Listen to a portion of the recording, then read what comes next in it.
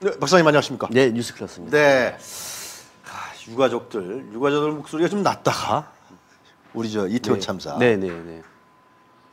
또 조용히 들어갔다가 이제 날 것 같아요, 그죠? 날 것 같아요? 어, 날것 같아요. 왜냐면 왜냐면은 언론에서 좀 보도를 좀 해도 될 텐데. 언론에서 본 이제 보도를 알 수밖에 없는 대목이 네. 10일 네. 내일 내일 드디어 어. 12구 이태원 참사 희생자 유가족 협의회가 출범합니다. 아, 출범합니까? 합니다. 아 진짜 어렵게 그 한다. 크게 한번 모셔가지고 네. 앞으로 한번 들어오시면 이제 모여야 얘기가 되는 거거든요. 음. 그 동안에는 이들이 모이지 않기 위해서 정부가 관련된 내용도 공개하지 않았어요. 신주 이름도 안 붙였어요. 음. 누가 누군지 몰라요. 그분들은 집단적으로 모이는 것이 아니라 개별적으로 다 가다니면 누군지 몰라요, 그죠? 드디어 이제 묻혔습니다. 이번에 보니까 네. 어, 89명의 희생자 유족이 모였습니다. 가반 9명. 가, 가반은 되죠. 그죠? 159명 예, 중에서 외국인들 뺄 테고 네, 또 일본은 빼고 아까 연락이 안 된 분도 있을 테고 앞으로 네. 더 아마 합류할 것 같아요. 그렇겠죠, 예, 예. 여덟 아홉 명이고 어, 스스로 뭉친 거죠, 스스로. 어, 그럼요. 이 내용을 물어보니까 서로 전화를 한 거예요. 전화를 해가지고 혹시 이번에 이태원에서 돌아가신 분 많았냐고 그걸 또 물어봐야 되는 거예요. 그럼 하고 난 다음에 어 맞다고 얘기하면은 왜냐면 모일까요? 한 명 모이고 두 명, 세 명, 네 명. 아 옆에 김씨 뭐 아주머니도 이번에 같이 갔는데 같이 모이자 해가지고 이번에 아홉 명이 드디어 내일 12구 이태원 참사 희생자 유가족 예. 협의회가 출범을 한다고 합니다. 여기서 이제는 집단의 목소리로 함께 아픔을 치유하면서 함께 고통을 나누면서 네. 또한 목소리로 그들이 요구하는 내용을 어, 바깥에 표출하다 보면 언론도 보도를 할 것이고 이제 그분들이 왜 지금까지 이렇게 눈물을 흘리고 있는지 얼마 전에 그 피해자 아버지가 무릎 꿇고 비는 거 봤죠. 이지한 씨 아버님. 네. 그 울부짖 누가 때. 누가 무릎을 꿇어야 됩니까? 자 이런 상황에서 이제는 아마 이분들 목소리가 조금씩 나올 것 같아요. 네. 이 이지한 씨 가족이 윤석열 찍었다는 거 아니에요? 그런 얘기 하더라고 이지한 씨 어머니가 윤석열 찍었다고. 뭐 그걸 뭐 모르면은 뭐 그걸 찍을 수도 있습니다. 그냥. 아. 아니 아니 그, 그 얘기가 아니라 어, 어. 찍었다는 자체가 틀렸다는 거 아니라 뭐 찍을 수 있는 거죠. 예. 윤석열을 찍었는데 자기 자식한테 돌아온 결과는 뭔가요? 그 아까 그 말씀하실 때 코멘트를 말씀하실 때 예. 대통령 한 사람을 뽑는 게 얼마나 중요한 것인가를 네. 우리는 지난 박근혜 때 한번 경험을 하지 않았습니까? 경험했어요, 우리가. 음. 박근혜 때 아주 아주 처절하게 과거에 군사 정권을 빼고 그리고 우리가 뽑은 게 아니니까 음. 뽑았는데 박근혜 하고 난 다음에 정말로 음. 그때 그 이후에 저도 이런저런 학교 강의나 뭐이 음. 강의나서 이 대통령을 잘 뽑아야 된다. 내가 지지하는 내가 원하는 대통령 원하지 않는 대통령 두 번째고 정말 스마트한 대통령을 뽑아야 된다. 왜? 국가를 위해서, 음. 미래를 위해서. 막상 이제 전혀 어처구니 없는 한 번도 경험해보지 못한 대통령이 나오다 보니까 지금 우리 사회가 역사가 항상 앞으로만 가는 게 아닙니다. 거꾸로 가는 경우가 많습니다. 지금 우리는 거꾸로 가고 있는 반동의 시간이거든요. 이런 반동의 시간이기 때문에 아마 이번에 유족들도 아 느꼈을 거예요. 정말로 이 대통령을 잘못 뽑지 않 잘못 뽑으면 어떻게 되는지 한 시대가 앞으로 발전하기 위해서 얼마나 많은 국민들이 투쟁하고 싸우고 눈물을 흘리면서 역사의 발자국을 한다고 앞서 나가는데 자칫하다 하다가는 거꾸로 가고 있다는 사실을 아마 많은 국민들이 아마 느끼고 있을 것 같아요. 그러니까 이게 속칭 민주정부라고 하는 D, YSDJ 노무현 그리고 문재인 정부 때 이런 일이 발생하지 않으려 그랬으면 권력기관에 대한 개혁을 확실히 했어야 되는데 물론 했죠. 했는데 검찰도 문재인 정부 때 이게 하다 만 거예요. 솔직히 네. 하다 말아버렸어. 언론 개혁도 했어야 되는 거예요. 예. 근데 이런 제대로 된 개혁을 민주정부에서 하지 않으니까 네. 하지 않으니까 지금 이꼬라지를 당하고 반동의 시간이 되고 오는 반동의. 시간이 오는 맞습니다. 거예요. 네, 네. 그러니까 이게 선거 민주주의라는 게 선거로 당선됐다 윤석열. 난 선거로 됐어. 네. 몇 퍼센트 차이인 간에 그럼 나는 대통령이야. 니네들 나를 쫓아내? 네. 탄핵한다고 나를? 음. 나는 법률상 문제가 없으면 날 탄핵 못할 거야. 음, 당연하죠. 그럼요. 그리고 이들이 권력을 자, 국회를 또 장악하려고. 네, 네. 야당을 또 탄압하고 검찰 검찰 정권이니까 경찰까지 장악하고 법원까지 장악하려고 그러고 언론도 장악하려고 그러고 이렇게 되면은 무서운 게 굉장히 무서운 게 진짜 시청자분들 알아두셔야 될 게 재생산이 된다는 겁니다. 이들 지금 뭐 한동훈 일을 다음 주자로 한다는 뭐 이러고 있잖아 지금 말이야. 어? 재생산을 시키는 거야. 제도화 시키고. 네, 네. 총선이라 그러는데 내년 되면 아마 이게 제도화가 상당히 될 테고 특히 민주당이 예를 들면은 뭐 분열시키고 어, 이재명 뭐 부정 비리다 올가놓고 분당시키고 분열시키고 그럼 정치 세력에 막을 게 없고. 그렇게 되면은 우리 사회는 이러한 그 권력 기관을 중심으로 이루어지는 기득권 집단들 그 뒤에는 재벌이 있죠. 어, 당연하죠. 이 화물연대 뒤에 그 재벌 화주들이 진짜 있었잖아요. 그, 럼요 네. 그렇게 가는 거죠. 아, 그래서 우리 사회가 그렇게 가는 거고 이게 우리까지 힘들고 그렇습니다. 네. 대출 받아서 이자 힘들고 예. 어? 그냥 물가 걱정하고 자식 기후 걱정 이런 사람들의 삶은 계속해서 이 꼬라지로 가는 거예요. 아, 그렇습니다. 우리가 앞서 이제 대통령 한 명이라 그러는데 대통령 한 명을 잘 뽑아야 된다.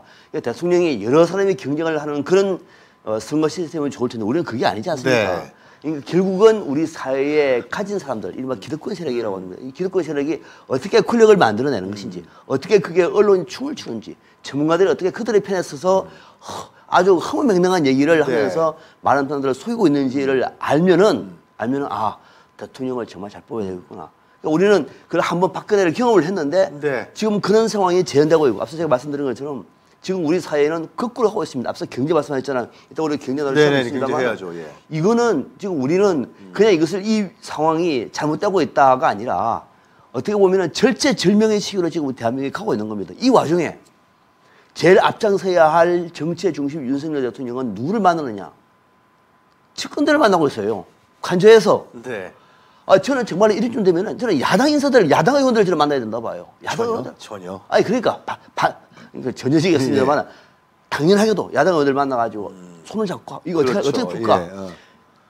경제인들 만나가지고 풀고 또 안 되면 이번에 노동자들 불러서 한번 와- 와봐라. 뭐가 문제인가? 어렵다. 여기까지만 하자.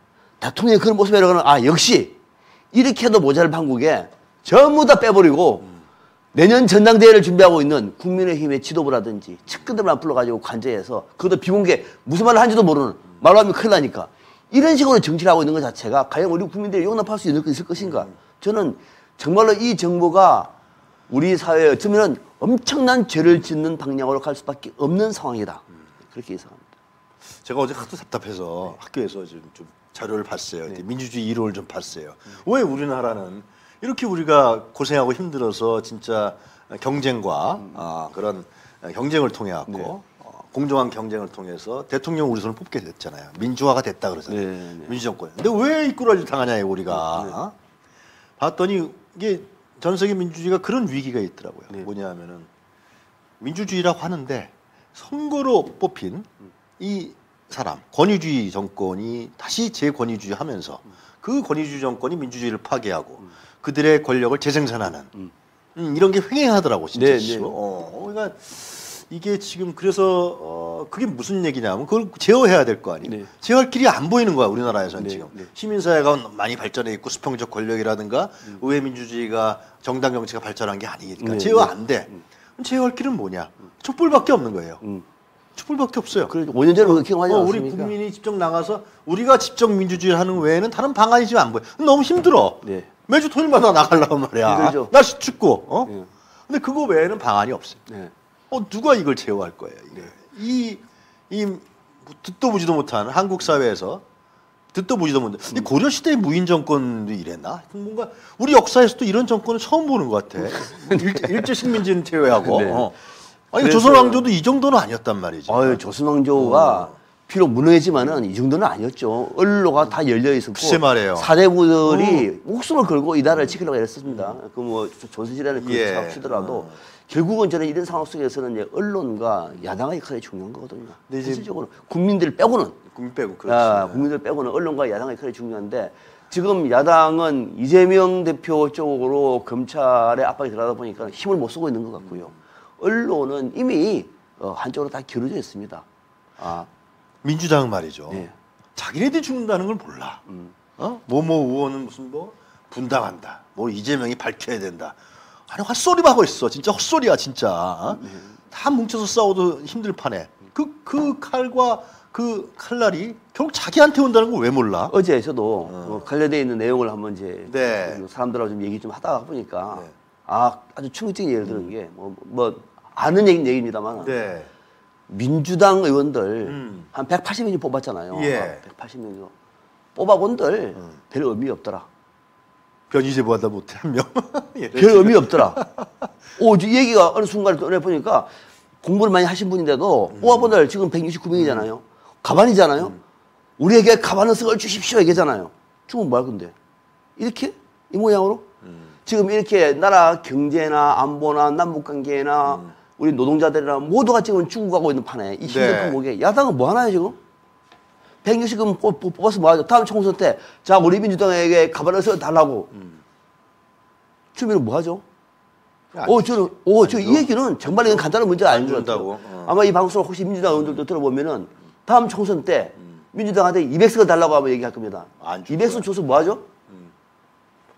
어, 저는 이거는 정말 심각하게 고민하지 않으면은 다음 총선 때, 아, 마냥 그냥 윤석열 정부가 내년 되어서 다음 총선 때면은 망해갈 거야. 망해가면은 집권당에 대한 반사역으로 민주당에 대한 몰표를 줄 거야. 이렇게 생각하십니까? 가반 의석을 3분의 2 가량 줘본들 배벌리 없다라고 하는 그런 민심도 적지 않다는 사실을 아셔야 됩니다. 그러니까 지금 이재명 혼자만 그렇게 저렇게 고립무원으로 놔두지 말고 어? 같이 힘 어떻게든 힘을 합쳐서 이낙연 개든 뭔 개든 간에 뭐 비명계 뭐 친명계건 간에 자기 일이라 생각하고서 어? 같이 함께 배를 타고서 싸워주고 그죠? 그리고 국민의 목소리를 대변해주고 어? 그렇게 해야 되는데 그냥 호시탐탐 뭐만 나오면 그냥 무슨 뭘 어쩌고 저쩌고 하면서 말이야 어? 그리고 정진석 비대위원 얘기 한번 해볼까요? 네, 오늘 네. 주제 중에 하나 하나인데 네네네 이태원 참사의 이 유족들이 지난달 21일 날 네. 정진석 국민의힘 비대위원장을 만나지 않았습니까? 비공개를 만나고 그때 정진석 비대위원장이 만나면서 이렇게 눈물로 거스겼던 모습을 보면서 그때 네. 사진도 나오고 그랬는데 자 그때 어, 정진석 위원장이 했던 얘기가 정부 여당으로서 너무나도 송구스럽고 죄스럽다는 말을 들었고 사후 원인 규명과 사태 수습 재발 방지를 위해서 최선 노력을 다하겠습니다. 유가족들의 의견을 충실히 정부에 전달하겠다고 역설을 들었습니다. 하면서 약간 눈물을 보였습니다. 우리는 알잖아요. 저 사람이 어떤 사람인지, 진짜 이 할지 우리는 알거든요. 그런데 방금 어, 말씀하신 그 우리 유, 유가족 대표 이지한, 고 이지한 씨 네. 아버지가 이런 얘기를 했습니다. 네.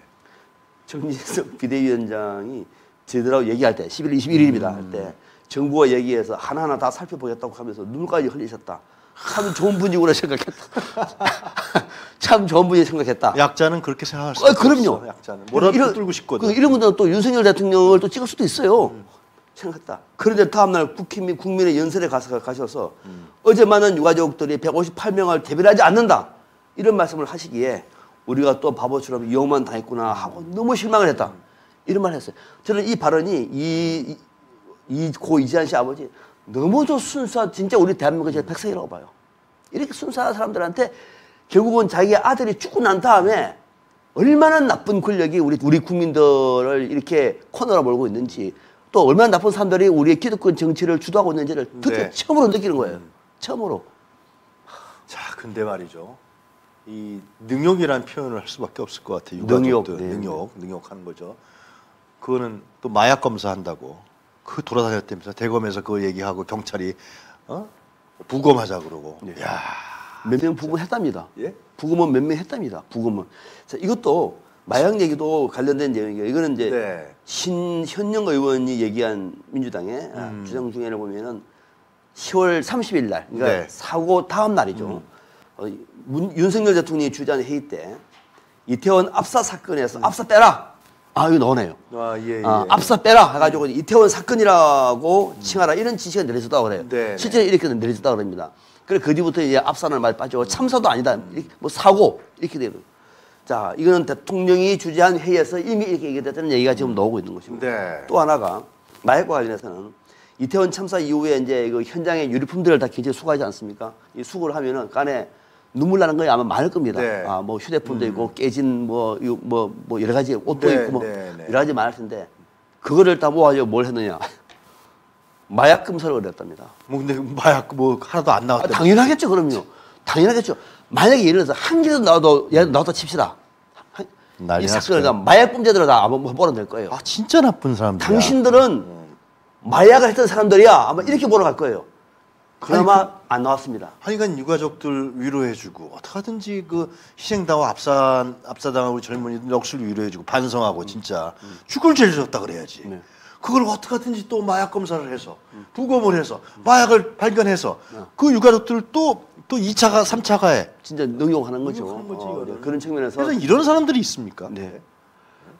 어, 이렇게 해서 이- 결국은 이태원 참사에 우리가 유족들의 얘기에 귀를 기울이는 이유는 너무도 어떻게 보면 순박한 백성들의 이 생각들을 나쁜 정치가 얼마나 피멍들게 하고 있는지를 우리가 생생하게 이 현실에서 보고 있는 것이고 실제로 우리는 과거에 세월호 참사 때도 이런 사건을 목도하지 않았습니까? 똑같은 일이 5년 만에 반복되고 있고 다시 시대가 뒤로 가고 있다는 것이 어떤 어, 현실을 어, 통탄하고 있는 겁니다. 국정조사는 제대로 할까요? 안 얼마 돼- 또 방해하겠어? 안, 안 되죠. 예? 안 되죠. 뭐 지금 이제 한, 어, 내일부터 시작한다 그래도 한 30일 남은가요? 네. 정의, 남은? 정의들 안 나올 테고 나와도 말안할 아, 테고 말안 할 테고, 안할 뭐. 테고 어, 또 혹시 여당 의원들 나와 또 소리 지르면서 또뭐 쇼할 테고. 자리를 박차고 나갈 테고 뭐 안 되겠죠. 진짜. 그리고 안 된 이유는 민주당 탓. 뭐 어, 뻔하죠. 테고. 민주당 의원들 또, 또뭐 제대로 못 싸울 테고. 네.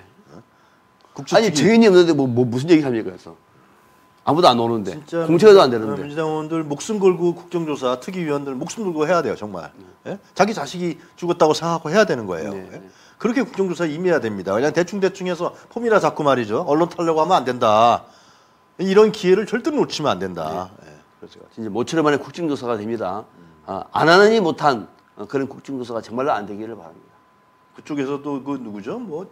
그또 왈왈이들이 나오는 것 같더라 국민의힘에 네. 그 특위위원지 조수진도 있고 네. 또뭐 여러 명 있는 모양인데 또 호- 소리 지르고 그럴 거 아니에요. 아, 본질 흐리기, 궤변 아니면 말고 당신 탓. 하여튼 아마 또 정말- 재해될 겁니다. 음. 경제 얘기 조금만 해볼까요? 네네. 경제 얘기 시간이 많이 지났습니까만 경제 지금 한국 경제가 뭐 예상보다 어렵다는 얘기는 저희가 이 방송에서도 여러 차례 우리가 얘기했죠. 예. 또 어, 뭐 일본 신문의 신문에서도 또 전문가들도 수없이 그런 얘기를 합니다만 네. 자 이번에는 이 경제 관련 내용 중 하나가 이 얘기만 해보겠습니다. 어, S&P라 국제 신용평가사 있죠. 예, 예, 예. 여기는 동물적인 감각으로 세계 경제를 보는 사람입니다. 어. 이론보다도 감각으로 네, 네. 세계 최고의 신용평가사로 평가합니다. 네. S&P가 내년도에 한국의 경제 성장률을 1.4%로 봤습니다. 1.4%. 지금 우리 정부도 보통 2%대를 보고 있는데 네. 1.4%. 이거는 성장이라고 할 수가 없는 거예요. 어, OECD 평균보다도 더 낮습니다. 이런 상황입니다. 우리는 더 이런 말에 귀를 기울여 하는 것이 저성장이라고 하면은 당연히 무역 수지, 특히 수출이 안 된다는 얘기예요. 네. 모든 원인은 이쪽으로 기울이는 겁니다. 지금 그런 얘기를 하고 있는 것인데, 자, S&P가 했던 얘기는 내년 한국의 국내 총생산 GDP가 어, 1.4% 전망을 하고 있다. 네. 한국은 향후 10년간 일본형 만성적 저성장을 할 것으로 보인다. 드디어 나왔습니다. 우리가 과거에 일본처럼 될 것이다. 아니, 일본보다 더 할 걸 등등 얘기만 했는데 드디어 S&P가 그 얘기했습니다. 네. 일본처럼 어, 만성적 저성장으로 갈 것으로 보인다. 특히 내년 한국 기업들의 영업 환경이 악화되고 그중에서 특별히 건설사들은 상당한 위험에 직면할 것이다. 네. 부동산 문제가 간단치 않아 보이면 돼버리면 줄줄이 도산 파산될 가- 마- 그런 어떤 건설업체들이 많다는 얘기인 것이고 이게 될 경우에는 거기에 물려 있는 채권이라든지 그것도 채권이 무너지면 나머지 기업들 그 연세가 연세. 은행들 줄줄이 나갈 수 있는 이 가능성을 S&P가 아, 경고를 했습니다. 자 결과적으로 이 S&P도 네. 어, 내년에 우리 대한민국의 무역 수지가 줄고 여기서도 네. 생기는 발생 효과에다가 예. 결국은 구- 일반 국민들은 가계 부채가 폭탄이 될 가능성이 많다. 가계부채가 여기서 터져버리면은 가계부채와 민간부채가 같이 맞물렸기 때문에 여기서 폭탄이 돼버리면 결국은 우리나라는 아까 말씀하신 것처럼 과거의 아시아 경제 위기 상황이 재현되지 않으리라는 법 없다. 지금 한국은 그렇게 가고 있다. S&P의 전망입니다. 경제 성장률 지표도 뭐 1%뭐 2% 1.4 정도인데 네. 경제 성장률 물론 이제 그건 뭐 통계치지만 경제 성장률 올라가지 떨어지면은 어떻게 되는 겁니까? 그러면은 기업에 투자도 안 할 테고 돈도 안 돌게 되는 거고 일자리는 없어지는 것이고 네. 구조조정 당할 테고 예. 네. 우리가 지금 나오고 네, 아, 네, 네. 여기 보면은 이거는 이제 이제 각 기관들이 내년도 네. 우리 성장 정, 성장률 전망치를 말하고 있는데 네. 어, ADB가 좀 높죠. 아시아 해보라는 2.3인데 우리나라의 KDI가 1.8로 보고 있습니다. KDI가 1.8. 한국은행이 1.7 보고 있는데 아마 이것도 더 낮출 것 같아요. 네. S&P는 1.4로 어, 보고 있고 또 혹시 다른 토표가 있습니까? 다른 거 보시면은 네. 어, 우리나라 경제와 관련해서 어, 이거, 이거 여기 보시면은 OECD 거. 어. 네. 어, 지금 지난 9월 달보다도 네. 9월 또두 달 뒤에 어떻게 바뀌느냐. 유로, 미국, 일본 대부분 다 조금씩 높아가요. 네. 조금 높아가는데 한국만 높았다가 지금 내려가고 있습니다. 한국만 그렇습니다. 그러니까 전망 수치가 두 달 뒤보다도 더 어려워지고 있는 상황이 우리 대한민국이라는 얘기고 이것이 아마 12월 달 되면 더 어려워질 것이고 내년쯤 되면은 OEC보다도 더 낮아진다는 전망이 여기서부터 나오고 있는 거예요. 그러니까 한국의 경제가 생각보다도 훨씬 더 안 좋다. 그래서 올해가 안 좋지만은 내년은 더 안 좋을 것이다. 이거는 지금 추경호 경제부총리도 똑같은 얘기를 하고 있어요. 또 통계도 통계도 지금 이렇게 에, OECD도 보고 있다는 뭐 지표를 지금 여러분들이 보고 계시는 것 같고 세수도 지금 이제 계속 떨어지고 있고. 뭐 세수는 네. 수출이 안 되면은 세수가 넣을 데가 없고요. 그렇죠. 부동산 값이 이렇게까지 경착륙 돼 버리면은 세- 세수가 더더욱이 없는 거죠. 이렇게 될, 될 경우에는 우리나라는 결국은 재정 수지마저도 이제는 아. 적자로 돌아설 것이기 때문에 이거는 네. 말 그대로 거의 금융위와 똑같은 방식으로 재현되지 않았습니까? 아 그렇게 변질 가능성이 적지 않다는 얘기죠. 지금 세수 정감률을 보면은 네. 종합소득세하고 상속 증여세 외에 나머지 부동산, 정권 뭐 전부 다 지금 이렇게 내년에는 네. 전망치가 다안 좋기 때문에 혹시 이 방송을 보는 우리 그 시청자분들은 내년 경제에 대비하는 좀 발빠른 준비를 하지 않으면은 지금 결국은 각자 도생입니다. 정부가 할 수 있는 게 없습니다. 이 와중에 윤 대통령은 정치 문제에 올인하고 있습니다. 어, 노동자들 때리니까 아 지지율 올라가네.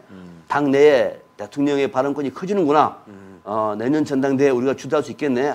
그러고 난 다음에 총수 한번 해보자. 지금 이런 분위기를 가고 있는데 그 와중에 경제는 이렇게 거의 정말로 위기 상황으로 치닫고 있다는 말씀을 그덕 강조드립니다. 네. 알겠습니다. 아까 선거 얘기하다 오래 말았는데 선거에서 당선됐다 그래도 우리는 경험이 있습니다만은 우리 그러한 그 선거에서 당선된 정권이 권위주의화되고 국민의 삶을 파괴하고 민주주의를 파괴한다 그러면은 그건 국민이 끌어낼 수밖에 없는 겁니다. 국회에서 안 하고 언론에서 안 하고 다른 제어 장치가 없다. 제어 장치가 있다면 이렇게까지 못 갔죠 윤석열 정권이 취임 7개월 만에 제어 장치가 없는 거예요. 그런 의미에서 야당의 책임을 우리가 얘기하는 네. 것이고요. 민주당의 국회의 책임을 얘기하는 것이고 국회라는 게 견제하라는 건 언론의 책임을 얘기하는 것이고 그럼 결국은 우리가 미는 수밖에 없는 거고 민주당 어, 제대로 된 의원들 한 10명만 있어도 정말 네, 네. 응? 음, 와서 싸워주면은 어? 이, 이것까지는 안 간다. 네, 그렇죠. 다음 총선만 보지 말고 네. 어, 지금 국민들의 눈물을 보시라. 음. 특히 야당 의원들은 이런 말씀드리겠습니다. 그래도 이재명 대표가 요즘 좀 살아나는 것 같아요. 김욱하고 남욱 문제 그리고 뭐 좀 남욱이 거짓말했다라는 거 신밀성이 문제가 있다고 계속 아마 드러나니까. 조만간에 막 네. 나름, 나름대로 선을 할 것 같아요. 지금은 정면 돌파 외에는 방법이 없거든요. 네. 지금 이런, 사- 이런 상황에서 어, 이재명 대표도 말 그대로 근본 일척의 싸움을 준비를 해야 됩니다. 음. 그리고 본인이 살기 위해서도 물론 중요합니다만 일단은 본인은 본인이고 당이 살아야 될 것이고 이 당이 살아야 음. 어, 윤석열 정- 정부에 대항하는 타수의 지지자들도 하기 힘을 모으는데 이런 식으로 지지부진 해버리면 결국은 내부부터 분열이 생기는 거거든요. 그걸 막을 수 있는 사람은 이재명 대표밖에 없는 겁니다. 근데 경제 이거 어떻게 한대요? 윤석열 정권에서 추경은 어떻게 한대요? 경제 이렇게 이렇게 가는 거 그냥 쳐다보고 있대요. 지네들은 먹고 사는데 아무 문제 없으니까 집, 집도 몇 차례 되고. 먹고 사는 문제가 아니라 위기 때 기, 기득권들은 더 찬스예요. 음, 기득권을 가진 집도 사고 그죠 엄청나게 돈이 많은 사람들 은행에 투자, 은행에 집어넣고. 이 위기가 기회입니다. 아. 아, 그걸 똑똑히 알아야 됩니다. 그들은 어쩌면은 찬스를 기다리고 있습니다. 음. 국민들은 지금 대부분이 다 길거리로 나가고 있지만은 그들의 찬스가 됩니다. 이것이 우리 한국 정치의 또는 우리 사회의 현실입니다. 공기업도 뭐 자산 매각한다 그러잖아요. 이야 네. 기가 막히게 물건 나오는 거지 뭐. 네, 네. 어? 요즘에 무슨 방, 드라마더라? 방송사도 나오고 재벌의 막내 아들인가? 뭐 보면은 아, 네, 야, 네. 내가 널 위해서 말이지 강남에 있는 부동산을 팔아갖고 400억을 줬고 말이야. 네, 네. 참. 네. 우리 뭐 은행, 은행에 어? 얼마였지 현금? 한 40조 됩니다. 조금만 기다려봐. 큰거살수 있을 거야. 얼마나 많은 사람들이 기다리고 있을까요? 말 안 듣는 MBC 몰고 어. 더 탐사 그나마 좀 얘기하고 있는 더 탐사 시민 언론도 그냥 압수수색 해 갖고 네. 그걸 물론 뭐, 뭐죠 소방관들 불러갖고 그걸 닦고 들어가고 네. 자 근데 보도도 안 해 제대로 보수도 안 되고. 자기네 문제인데 알겠습니다 자 박사님 오늘 말씀 잘 듣습니다 네, 감사합니다 고맙습니다. 네. 조심 백은종 그 투쟁의 기록 개벽이 출간되었습니다. 윤석열의 등장을 예언한 채 개벽 검찰 공화국을 막아라 무소불위의 검찰을 그동안 아무도 건드리지 못했다. 검찰을 손볼 세력이 어디에도 없었기 때문이다. 하지만 뛰는 검찰에 나는 국민이 있다. 전두환 군부 독재와 이명박근혜 정권마저 붕괴시킨 촛불 시민들이 그따위 검찰 출신 나부랭이들의 복고에 굴하겠는가? 위기의 대한민국 윤석열 검찰공화국에 맞서 싸울 촛불 시민들의 투쟁의 지침서 조심 백은조 국가와 민족을 위한 그 투쟁의 기록 개벽 여러분의 지지와 성원을 기다립니다. 감사합니다.